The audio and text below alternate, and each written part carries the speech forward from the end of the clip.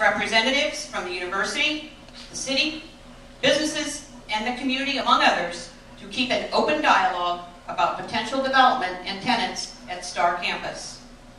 I have a proven track record of building positive relationships with business and community groups to achieve extraordinary results. I am pro-business development for Newark. This project represents a great opportunity to create much-needed jobs, as well as a chance to broaden the city's revenue tax base. However, we need to take into account how projects like this impact the lives of those who are in the community, and although it will not be easy, we need to show the business community that we can be creative and willing to develop collaborative business relationships that balance development and quality of life. Thank you. Amy Roe. When I first learned about the power plant project in June, I was uh, instantly alarmed.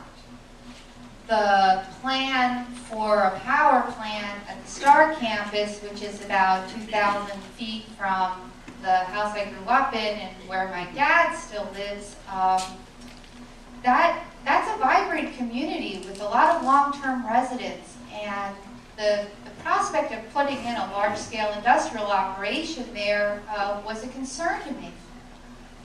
Learning about the power plant as I have, I have a, a PhD in energy and environmental policy and I've been putting those skills to work to do research about the project and making that information available to City Council so that they can act. Uh, it has raised a lot of the issues that we have about the lack of accountability in our city government. So my position on the data centers is it's a it's an iconographic of some of the larger issues that we have in our city that we really need to correct to protect our quality of life.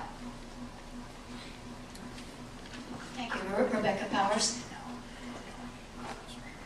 Building a 279 megawatt natural gas power plant in a residential area does not seem to be an appropriate project to Newark. The closest houses are a quarter mile away, and air pollution and noise disturbance are of utmost concerns to me.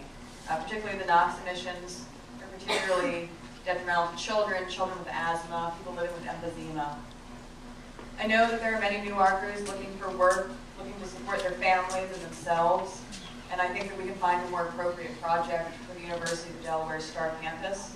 It's a great asset to our community, but I think that we can find a more appropriate project aligned better with the health and safety of our community. Thank you. Robert Harlan. In 2010, I was invited to a presentation at the Embassy Suites with Paul Pomeroy, who was then on City Council. The presentation that was made at that time by the university about what they were going to do with the old Chrysler plant is not quite what is there now. It was, uh, as a former New Yorker of 45 years, it was a really big snow job. and I I find great difficulty in dealing with what has taken place. We have all been gotten this no job. Um, I know that we need jobs. I'm an ex-union representative from New York. It's very important to create jobs, and that's one of my goals, but I'm not sure we're going to do it with this power plant. Thank you. Matthew Vento? Power plants and universities have gone together uh, for many, many years. I was able to research that University of Minnesota was one of the first to put one on their campus in the 70s. I think what concerns us right now is the size and what it's going to be used for. We continuously talk about a lack of reporting, and that's what is concerning us. We look towards Johns Hopkins University, Cornell University, and Harvard Medical College, who all have power plants, and they are leading the way in technology. However, their plants are much smaller. So what we need to ask is why so large? Because if we are going to be the leaders of technology on the East Coast, I am all for it. But as of right now, all we know it is going to back up what I like to refer to as a cloud, and that is what a data center is. We have more questions. Thank you. Uh, Donald Del Paulo? Thank you. Uh, I'm against putting the power plant at this location. My main reason is water. All the, all the residents of Newark, the whole university, including 20 plus thousand students and the 1,300 commercial customers of the city and their thousands of employees use 1.3 gallon, billion gallons of water a year. The power plant will employ 72 employees and use over 1 billion gallons of water a year. We will be taking this water out of use for any other business for decades. United Water, will be supplying the water, is growing ever so close to capacity. Soon we will have to start saying no even to larger players because of lack of water. Heavy users of water, such as power plants and refineries, are always located next to large water sources, not inland, using drinking water as their water source. We cannot afford to waste 1 billion gallons of our water for just 72 jobs. Thank you. Microphone comes back here. Mark, go ahead.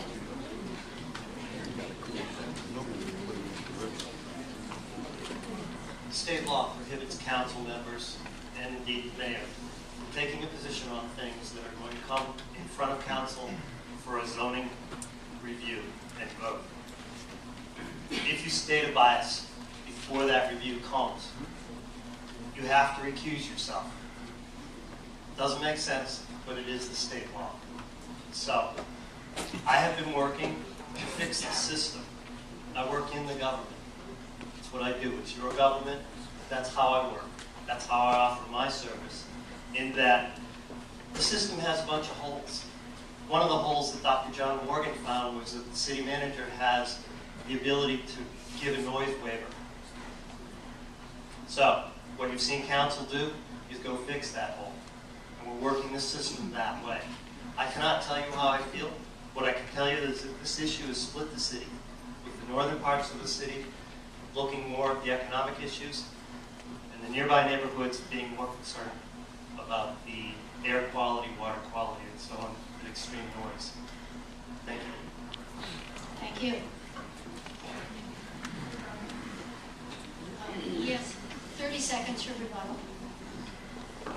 I would just like to point out that I believe what Councilman Morehead is referring to is the Delaware Public Integrity Commission Advisory Opinion 0742, which does apply to people in elected office now, but would not apply to those of us sitting here who are not yet in elected office and who are still private citizens.